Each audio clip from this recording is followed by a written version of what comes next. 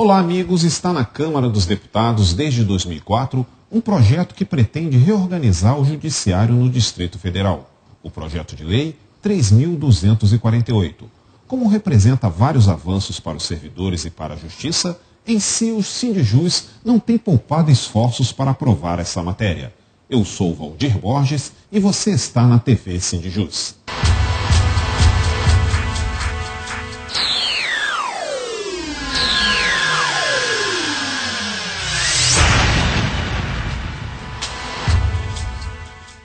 Uma reunião feita no dia 24 de abril no auditório do Superior Tribunal de Justiça reuniu servidores do Tribunal de Justiça do Distrito Federal e concursados aprovados no último concurso do tribunal, cujas nomeações dependem da aprovação desse projeto.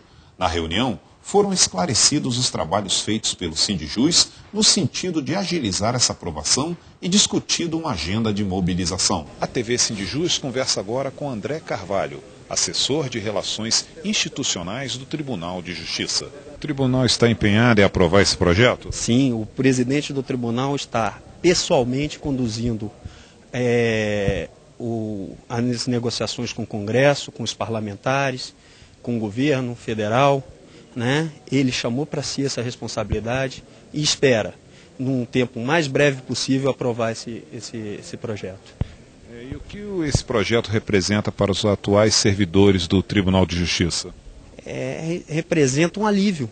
Um alívio porque os, os servidores estão trabalhando dentro da sua capacidade máxima. Uma vara, eh, em regra, era para ter 10 funcionários, estamos trabalhando com os funcionários, quatro funcionários, o resto estagiário.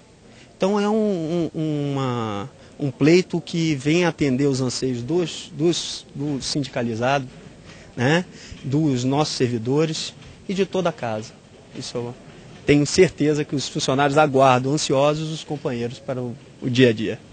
É, Roberto Policarpo, o que o Sindijus tem feito para a aprovação desse projeto de lei? Desde o, o envio desse projeto, o sindicato tem trabalhado em todos os momentos pela sua aprovação. A gente teve em várias comissões, tivemos no Senado, depois retornando agora para a Câmara, e agora nós entendemos que é fundamental é, um processo maior né, de pressão e de negociação para que o projeto seja aprovado nos próximos dias. Com isso, nós temos feito contato com o Executivo, com o Ministério do Planejamento, na Casa Civil, temos feito contato com os parlamentares, com as lideranças, né, e estamos chamando os concursados e os servidores do TJ para que a gente possa estabelecer um processo forte de pressão dentro do Congresso Nacional para que o projeto seja aprovado imediatamente. Fique atento à nossa agenda de mobilização. Teremos uma carta eletrônica em nosso site www.sindjusdf.org.br, dirigido aos deputados, pressionando pela aprovação do projeto de lei 3.248 de 2004. Convoque seus colegas de serviço, seus parentes, seus vizinhos e envie o maior número de cartas possível.